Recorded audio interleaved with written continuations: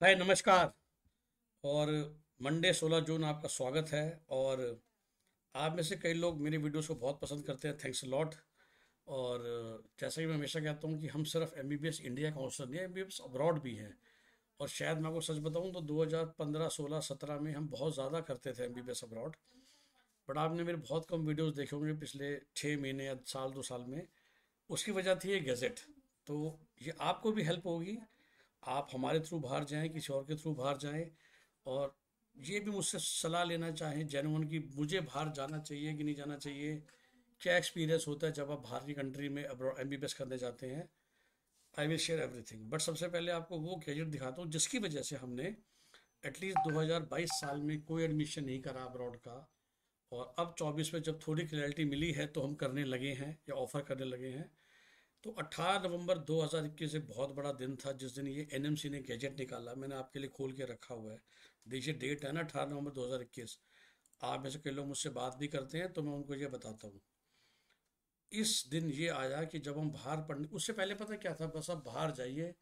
कोई भी कॉलेज हो, कोई भी ड्यूरेशन हो, बस वो डब्ल्यू एच ओ अप्रूव होना चाहिए। वापस आइए एफ़ एम जी का पेपर दीजिए, करेक्ट? और मैं हमेशा बच्चों को समझाता हूँ कि 2018 से पहले तो नीट क्वालिफाई भी नहीं था। तो 2017-16 में तो नीट में या उससे पहले सी पी एम हुआ करता था, आपके दो नंबर आए हैं तो भी आप जा सकते थे बाहर एम बी बी एस करने। 18 में आया नीट वाला रूल जिसे नीट क्वालिफाई वर्ड को लाया गया पहली बार, और 18 नवंबर 2021 को ये आया। इस पाँच पेज में कोई खास ढाई पेज हिंदी में, ढाई पेज इंग्लिश में तो इंग्लिश में चलते हैं। मैं ज़्यादा उसमें कंफर्टेबल हूँ। और सबसे बड़ा जो रूल आया था, तीन रूल आए थे। ये सब तो ठीक है, हम इंग्लिश में पढ़ा रहे हैं। जिसकी वजह से बाहर जाना काफ़ी दिक्कत हो गई, और वो ये था। इसको देखिए।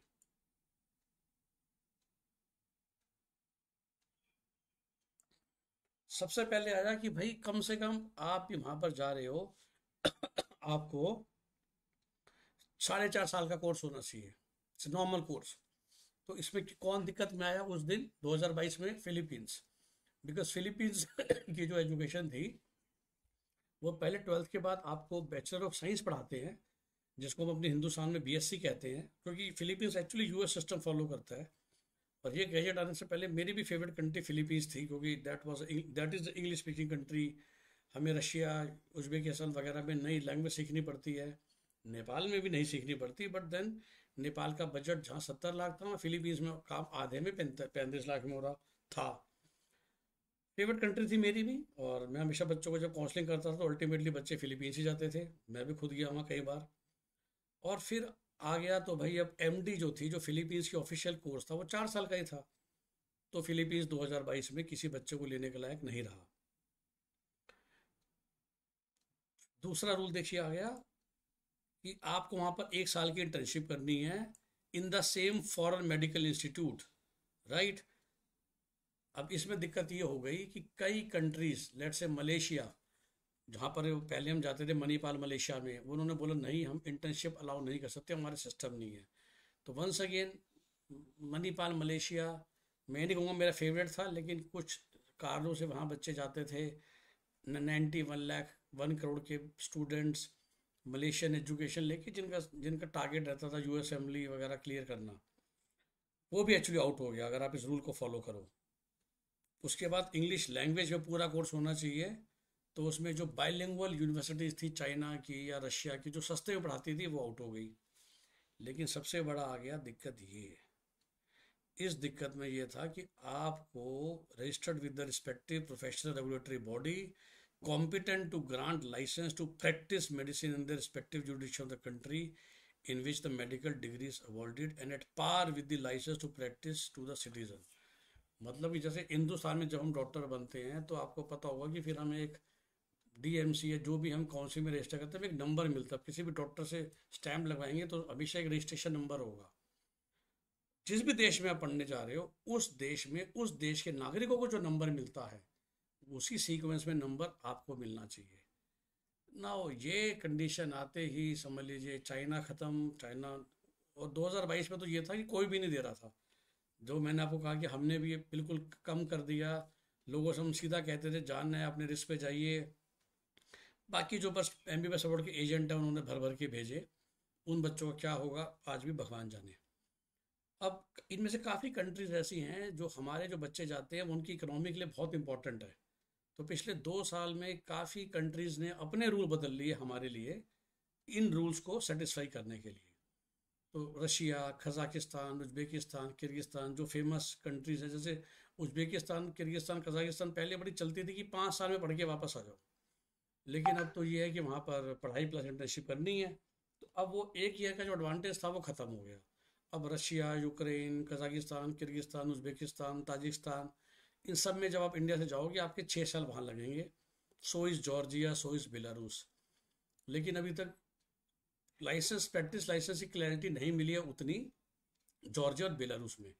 तो रशिया किर्गिस्तान कजाकिस्तान उज्बेकिस्तान हो गए, ज़्यादा क्लियर उसके बाद नेपाल ने भी अपना रूल काफ़ी हद तक मॉडिफाई करा है और नेपाल भी अब लाइसेंस दे देगा। उसने प्रोसेस बना दी है। रिसेंटली आपने सुना होगा फिलीपीन से खबर आई कि हम साढ़े चार साल की पढ़ाई कर देंगे। हमने एक लोकसभा में उनकी मतलब एक पार्लियामेंट हाउस में पास हुआ है कि हम रजिस्ट्रेशन भी दे देंगे क्योंकि फिलीपींस को बहुत नुकसान हो रहा है। साल में कम से कम छः से सात हज़ार बच्चे इंडिया से जा रहे थे, जो कि देखिए वहाँ पर जाके पैसे खर्च कर रहे थे ना तो उनके लिए उनकी इकोनॉमी में बहुत कॉन्ट्रीब्यूशन था। लेकिन अगर वो हो भी जाए जस्ट टू टेल यू फिर, लेकिन फिलीपींस में बीएस अभी भी है। अब दिक्कत क्या है कि उन्होंने भी चार का कोर्स साल साढ़े चार का कर दिया। एक साल की इंटर्नशिप भी वो दे देंगे, वो लाइसेंस भी दे देंगे। पर जो डेढ़ साल का पहले बीएस भी करना है सो डेढ़ जमा साढ़े चार छः साल जमा एक साल की इंटर्नशिप सात साल और एक साल फिर इंडिया में आठ साल। तो टोटल ड्यूरेशन है ना वो ज़रूरत से ज़्यादा ही होगी। देखिए, रशिया, कजाकिस्तान वगैरह में भी सात साल है। अगर आप इंडिया की इंटर्नशिप्स को काउंट करेंगे, नेपाल में टोटल काम हमारा साढ़े छः साल में हो रहा है, साढ़े चार साल जमा एक जमा एक। तो नेपाल इज़ लोएस्ट एट साढ़े छः साल। बांग्लादेश एवरीबडी एल्स इज़ सात साल जो अप्रूव्ड है समय and then Philippines as of today will become eight years और फिर से वो लोग कोशिश कर रहे हैं कि इंडियंस के लिए बीएस को भी हटाया जाए। अगर ऐसा हो जाता है और वो लाइसेंस दे देते हैं तो again to help you all Philippines will again become become my favourite and the favourite of everybody ठीक है तो ये हो गया पहली बात। आप किसके भी थ्रू जाना चाहते हैं, जाइए। हमारे थ्रू आएँगे। जैसा मैंने कहा कि मेरे पास समय नहीं होता, हम आपको ऐसी ना प्रेजेंटेशन भेज देते हैं। हम भी करते हैं, ये सारी रशिया की यूनिवर्सिटीज़ हैं, जिसमें हर एक यूनिवर्सिटी का फ़ी स्ट्रक्चर लिखा हुआ है। आप हमें अप्रोच करेंगे, हम आपको भेज देंगे। हर स्टेट का, हर कॉलेज का अलग हिसाब किताब है, कहाँ क्या खर्चा हो रहा है। इसी तरीके से कज़ाकिस्तान की, इसी तरीके से उज्बेकिस्तान की, इसी तरीके से नेपाल के सारे कॉलेज और नेपाल का तो अलग वीडियो मैंने आपको दिया ही था, जो आपने सुन लिया होगा।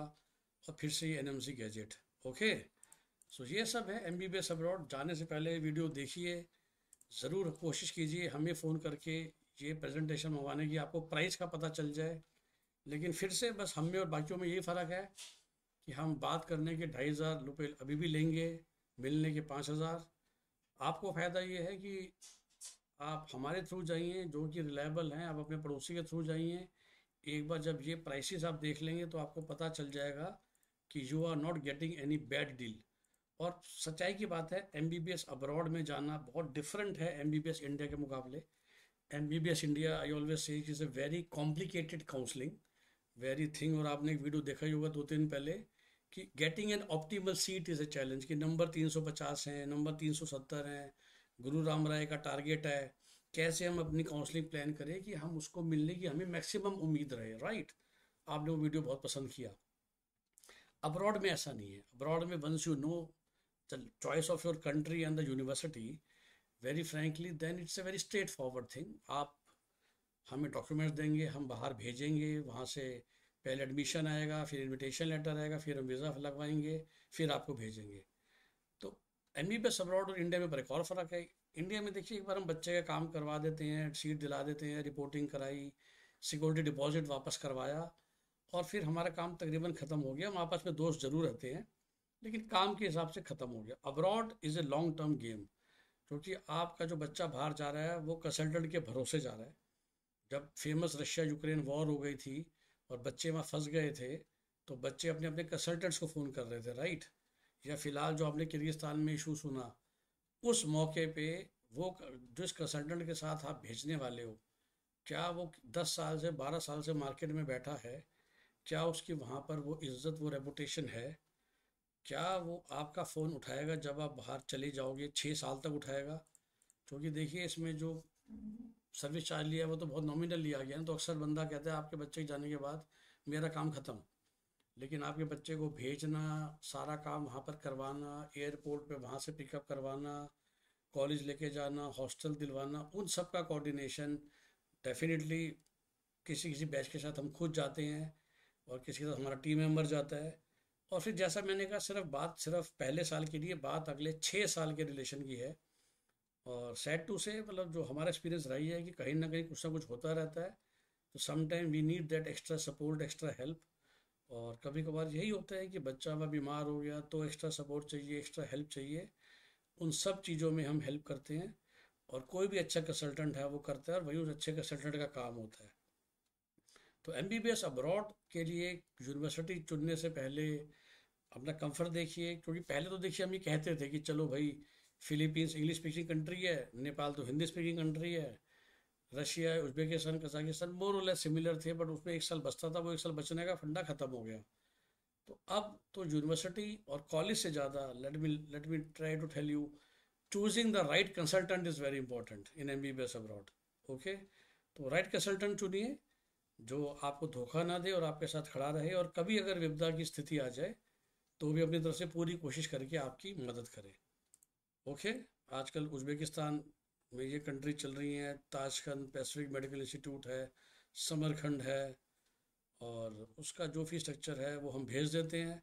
ज़रूर आप कंपेयर कीजिए किसी और के साथ जो आपको फ़ी स्ट्रक्चर भेज रहा है, और फिर आपको आइडिया लग जाएगा कैसे हो रहा है। ओके? एंड फिर भी मैं कहूँगा फ़ीस तो सेम होती है। कोई सर्विस चार्ज पचास हज़ार लेगा, कोई सत्तर हज़ार लेगा। हम जैसा बताइए कि अपना चार्ज पचास हज़ार लेते हैं और जो नॉर्मल खर्चे हैं वो तो एक्चुअल पे हैं। तो राइट कंसल्टेंट, राइट कंपनी चुनना इसमें ज़्यादा ज़रूरी है। Okay? Have a nice day bye और फिर से हमसे संपर्क करना चाहें अपनी इस अब्रॉड जर्नी के लिए तो call us on nine six four three three, six two three two zero. Have a nice day bye यही नंबर वीडियो के डिस्क्रिप्शन में भी लिखा हुआ है।